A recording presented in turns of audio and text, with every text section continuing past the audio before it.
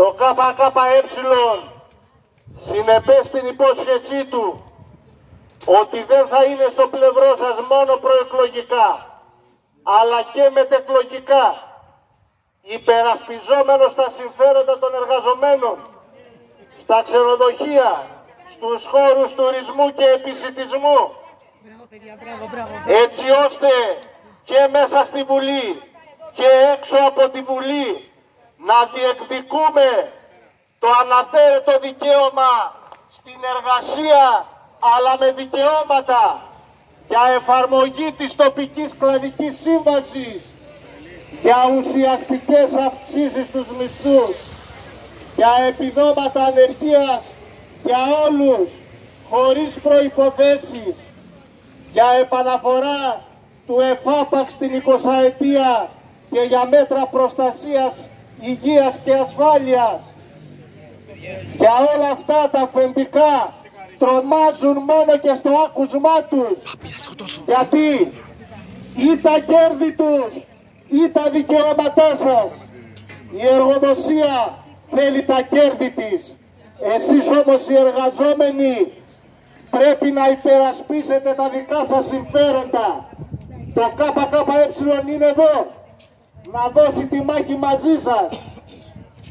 Αυτό που λέγαμε πριν τις εκλογές για 100% μαχητική λαϊκή αντιπολίτευση το κάνουμε πράξη την επομένη των εκλογών.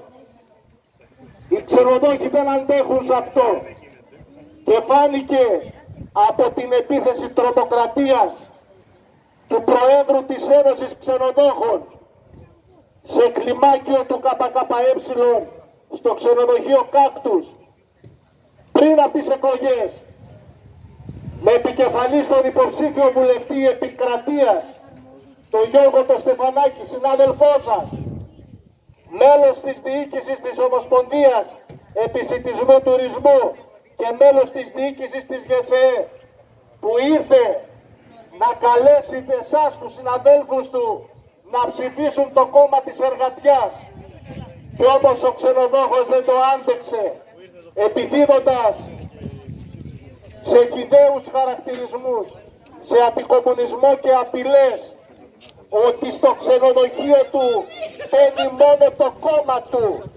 Ποιο είναι το κόμμα του; Δεν είναι πάντως το ίδιο με την τάξη των εργατών, με εσάς.